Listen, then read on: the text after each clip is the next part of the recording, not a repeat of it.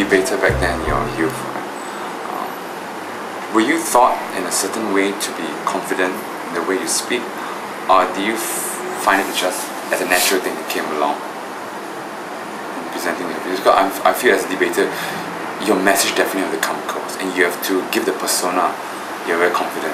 It's not just a message, but about the person who gives delivers a message as well. Well, you know, you have to have a little bit of a thick skin to do what you do, Yeah. You know, debating. But um, sure, I mean, you you go up there. Everybody has the shakes before they speak. Uh, most people do.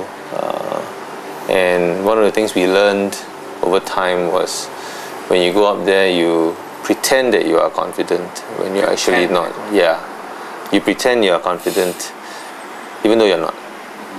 And the more you pretend, the more confident you become. And after a while, you don't have to pretend anymore because the confidence is already there. It, it comes in.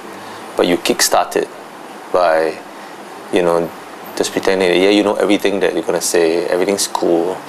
And when you're not, you know, you're probably nervous. But uh, it helps because then you forget that you are nervous in the first place. And then the natural, the real confidence takes over. So on that note, will you agree if I say that Singaporeans um, they're afraid to pretend to be confident because they're afraid of what the people might think of them when they make the first, you know, leap of faith, you know, giving a speech publicly. I think nobody wants to look silly. You know, they, they we are all creatures of uh, you know face. We don't want to lose face. But that being said, the way to minimize that is to know your material, right? I mean, if you know what you're talking about, if you have, if you uh, are an expert on on your topic, or you've already done the background. Uh, uh, research on it, you're less likely to mess up. You know, you got to go up there and you're confident because uh, you know your material. You know, but if you're talking about something you're not familiar with, uh, then there's a problem. Then you're just winging it. You know, you're just pretending you know something you don't. So homework's important. Doing all your homework is important, or being on top of your topic. Knowing, be, being an expert on the area that you're speaking on is important because that's your foundation for not just uh, delivering the material in a confident and um, authoritative way, but it's also the foundation for you if you are in a debate, for instance, and you are engaged in rebuttal. Uh, that is your foundation for rebuttal as well, because you, you can't you know just rely, rely on wit alone.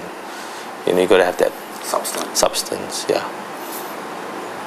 Do you think Singaporean youth, uh, uh, as in, how do you feel about Singaporean youth speaking you know, in public? Do you think they have the uh, credentials, they have the confidence to do so, or Singaporean youth are just very quiet in general? I think some of the, the, the art- there's a lot of talent out there, but I'm not sure if um, if that is even actively encouraged in schools. And we're all products of the education system, right? Shut up and sit down. You know, be a good child, sit down, keep quiet. Uh, so I, I'm not sure whether you know culturally we are we are comfortable with that. I mean, I've seen very talented speakers, Singaporean speakers, in my time. But when you when you when you go to a say a, another country and you see Singaporean young people interact with young people from other countries, you find that we tend young people in Singapore tend to hold back, you know, and and uh, it's almost as if like you know we are it's almost as if we are we are afraid to to say something for fear of looking silly. So it is not also in our culture to contradict or to argue or to to disagree in a in a witty way. So that is hard. So that that culturally, if you can't get rid of that, then it's very hard to um, speak up confidently. I think.